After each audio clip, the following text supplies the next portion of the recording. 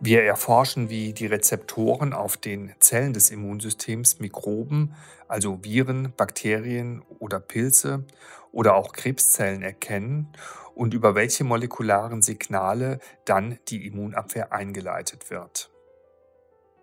Dabei wollen wir insbesondere verstehen, wie fehlerhafte Abläufe in diesen Programmen schwere Erkrankungen wie Krebs oder Immunschwächen auslösen können.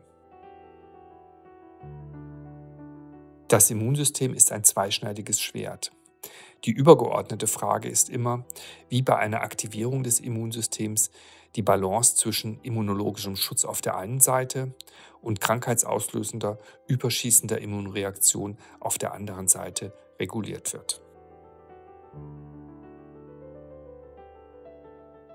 Die modernen Methoden der Genetik, Molekularbiologie und Bioinformatik erlauben heute völlig neue Einsichten in biologische Prozesse, die man schon seit Jahrzehnten beobachtet. So können wir heute detaillierte Immunfunktionen auf der Ebene von einzelnen Zellen messen.